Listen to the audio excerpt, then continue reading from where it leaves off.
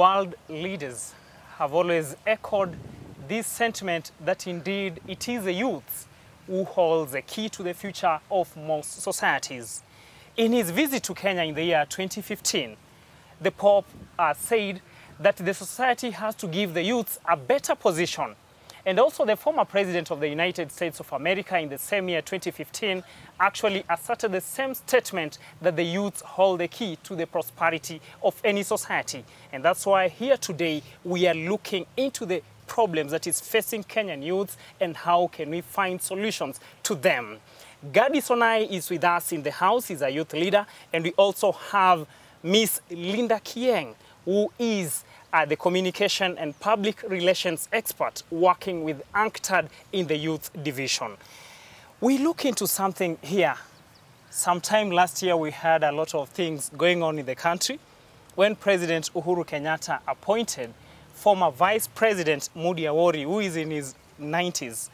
He served as a vice president and also as a leader in the public service for, for too long. And the president's statement, once he appointed uh, Awori in that position of sports development board, he said, heri nikae na huyu mzee because youth mnapewa nafasi munaiba. Are you stealing? No, we are not stealing. Most definitely, we are not. Okay, I can't really vouch for everybody, but I can say it also depends with the integrity within a person. Mm-hmm. You, we can't say that everybody is a thief, mm-hmm. you know, mm-hmm. because I think stealing is actually a choice. So I think it would be very unfair to say that the people are stealing or the youth is stealing, and yet maybe it's not everyone who's actually. Are youth stealing. thieves?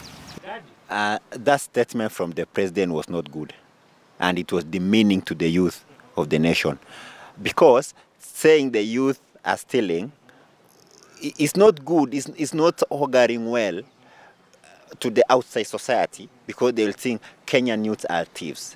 The president would have said, "I gave Moody a Awori this post because maybe he had um, he has experience, so he has to mentor some of the upcoming youth, but not saying the youth are stealing. That was wrong and uh, a reckless statement. You see, uh, Gadi and Linda, a head of state is not just any other individual. This is a person who is served with the data and uh, intelligence information every now and then. Could you have woken up? There must be an indicator. Ukisikia mtu anasema watu fulani kutoka sehemu fulani, kuna hiyo data, people have done mathematics, mm. wanaenda na percentage. Mm. Are youths who are given position thieves? Have they been stealing according to your own observation? But you also have to consider what they consider youth mm -hmm. in the government. Mm -hmm. In the government, youths are people who are 35 and above. Mm -hmm. So you can't really say, they're not really youth. Mm -hmm. Yeah, so he should have just said old people are stealing. Mm -hmm. Yeah. So it was unjustified for the president to talk of Um, youths are stealing. We have seen people being taken to the court. They are being prosecuted. Out of those people, are they youth?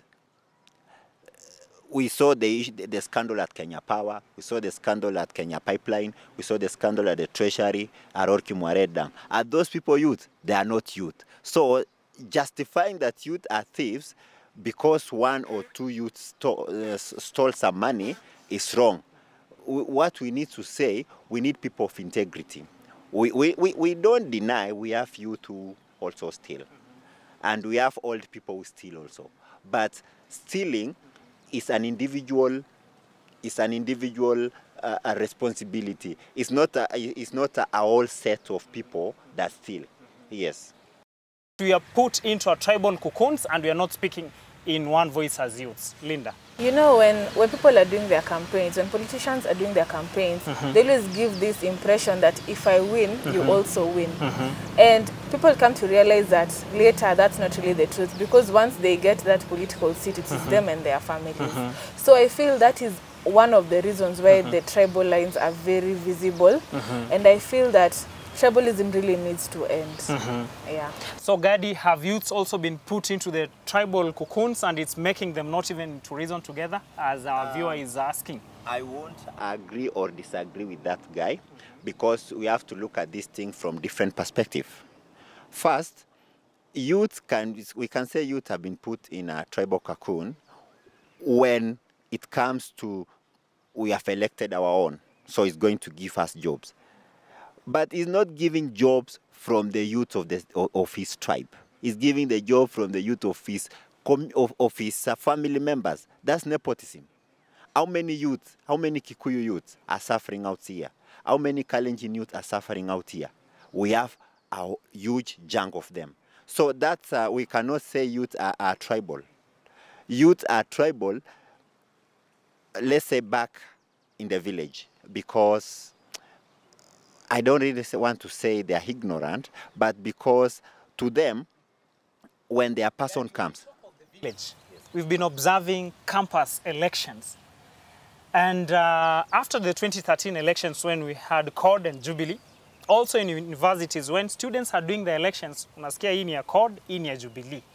So when you talk of the village, I don't really see it coming because our universities, even in towns and cities, and these are intellectuals, aligning themselves on Jubilee, CORD, and NASA, and what have you.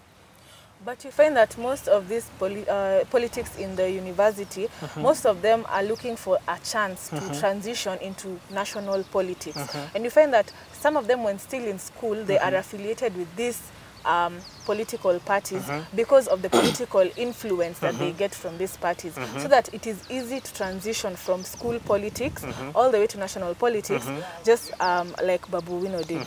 But isn't it doing youths harm? It is, but you also have to look at it as a way of also empowering the youth because once a young person gets involved in school politics, it is actually easier for them to transition into national politics if they play their cards well. Why can't they use that modality like what used to happen during those days when youths were for what is right for them? And I asked you about, I asked all of you about Tom Mboya, Kenyatta, and all those people. They were one during those days. What? what happened? What happened? Our um, political system was corrupted along the way. Remember when we were fighting for independence? We were fighting for independence as Kenyans. We didn't fight for independence as a community. So we came together because our common enemy was some colony. So we came together and say, let's drive this person away because ametunyanyasa.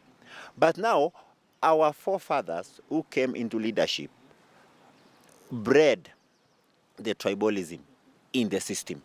Because once they, they when they assumed the offices, they took their people, gave them junk of lands, they gave their people jobs. They didn't consider that this is Kenya and we fought as, as, a, whole- as a nation for the community. So let's share this bread to all corners of the, o- o- of the country. So we blame our forefathers for the seed that they planted. You see, on Power Brief, we are trying, trying to look on ways on how this course of the river can change. Can the river be changed, this course of things moving on the tribal and what our forefathers did, Linda? I believe anything is possible and things can actually change, but um, it really needs to come from the inside. Like we all need a personal conviction to actually decide that um, um, we, are, we are going to do things differently. So change starts with, with you. It, sta- it starts with the youth. You know, it starts with you deciding that you're not going to like um, fall into the ills of society. Uh, it's true. Yes. the course of the river can be changed, but it cannot be changed at once. It's a slow, it, it, it, it's a slow, a slow, um, what can I say, a slow process. Because, for instance, if I take you back to 2013, from a county where I came from, there were very few youth elected to the county assembly. In 2017, at least we elected around three or four. So in 2022, I believe that we'll get youth of integrity and will increase the number both at the county and at the national level. So it's a process. It's not something that we wake up one day and we say, Sasa. Where are they going to? They are our fathers, they are our mothers. They have to be there. We have to make them understand that they, it's now time they earned power to us and let us take the country to the next level. Looking into that, currently the country is actually too much. The temperatures are so high for the 2022 succession politics. And uh, I trust you two people, you having worked with the youth networks across the country, uh, Linda is working with an international body. So we really want to have a start here at Brief as we give solutions. And all of you are going to have slots to tell a Kenyan youth, wherever they are, all over the world, the steps that they can take and some of the organizations, personalities, foundations, and individuals who can come together and partner with them. A few steps that youths have to follow in order to see that they get their right space on the table. Linda. Okay, for me, I would just like to advise the youth who wish to, for me, I'd just like to advise the youth who wish to get into politics, um, make sure that you really do your work on the ground. Make sure you build enough social capital for people to know about you, to know your cause, your initiatives, your manifesto on the ground. And also do your homework when it comes to building political capital. Um, make sure you, you, you, you talk to your fellow politicians, um, people who you look up to, people who can influence your decision because you know um, we all need mentors, especially in a career like politics. Yes, so build enough political capital and social capital so that we can all be able to climb up that ladder and sit at the table with the big boys. How about those youths who are not vying? The others now who are expected to vote. What can you tell them? Um, I can just advise them um, not to be bought. Do not um, do not sell your power uh, because of a thousand or 2 Yes, just um, make sure you make the right decision and always remember that the power lies with you. The power lies um, in your power to vote. Gadi. Um, according to me, I believe this is the right time for the youth. But first, as youth, we must uh, we must practice high level of integrity. We must be we must have integrity ourselves as an individual at a personal level. Then we can be able to spread the gospel of integrity to the other people. You cannot talk of um, electing or choosing the right leader when yourself you are not the right person in, in you. You see? So I think what the youth need to do, they need to identify the leaders and say, because these people, these leaders, they are with us in the society. We know them from their background. Mm -hmm. So we say this person, this, um, this person has integrity, mm -hmm. this person has moral issues. Mm -hmm. You know, tabia ni kaa ngozi. Yeah. So makosa ulifanya kitambo ama wewe tabia yako uwezi ukaiacha. Mm -hmm. Unaweza ukajifanya leo mm -hmm. that this not a gadi. Mm -hmm. But it will come automatic. So kama mtu we have to follow the route of this person. This person before he came into politics, what was he doing? Was he doing the right thing to the society or this person was was just a bully in the society. With that one, we'll be able to identify the right people, then we will choose them. And then, according to me, youth are learning. From 2013 to 2017, and now 2017 to, to date, youth learned. For instance, those are youth like me mm-hmm. who supported Jubilee. Mm-hmm. We say, hey, we elected Jubilee, but now Jubilee has let us down. Mm-hmm. It has not let down the people of NASA. It has let down the all youth of this nation. So let's elect people basing on their ideas, not people basing on their tribe. Yes. In summary, as we look for solutions, each one of you to pinpoint strengths and weaknesses that youths do possess without elaborating further. What you think the youths have in their hands that serves as their weakness and they can drop it, and what is their strength, the same as we come up with the solutions to this show. What are some of the weaknesses and strengths of the youths? I feel that um, the, the, the strength of the youth is that, um, personally, I feel that the strength of the youth is actually the fact that they have energy and they are energetic and they can use that energy for a positive reason. They can use that energy to do good in the society and they have enough energy to build social capital and to network and to, to garner political influence. They have the strength to do that. All people don't have, have, have the strength to do that. But unfortunately, um, the youth are also financially disadvantaged. You have to remember that um, uh, right now we have a shortage of jobs. Uh, people don't have uh, cash, especially due to the political, I mean, the economic climate right now. And so that's one of the biggest challenges and the biggest weaknesses that youth have. Gadi. Um, in summary, there's more, the, the greatest strength that the youth have is their numbers. Youth are the majority. And when people are, are, are- people are in a large number, they have the power to demand what they want and to get what they want. So youth should, should seize this opportunity where they, they, they are the majority so they can tell the government if you are not going to do this and this we are not going to do this and this also. And so you see the government will fear the youth. The youth another another strength of the youth is that youth are learned.